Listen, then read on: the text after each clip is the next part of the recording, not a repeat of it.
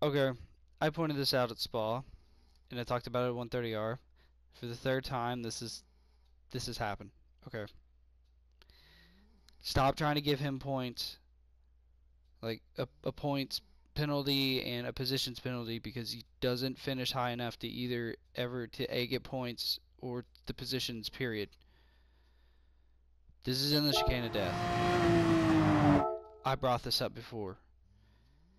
He cuts in and brake checks and cuts me off. Okay. No. He's still on the brakes. Like he he doesn't need to like I'm, I'm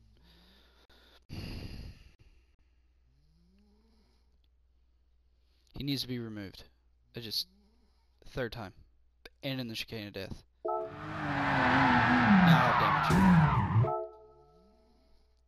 Just no.